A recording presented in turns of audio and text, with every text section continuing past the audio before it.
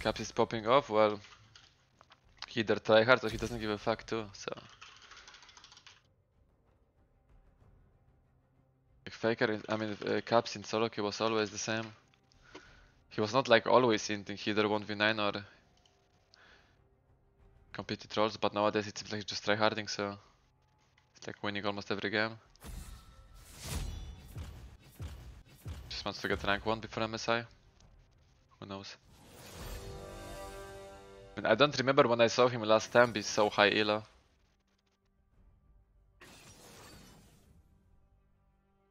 It's like really really high, it's 1.7.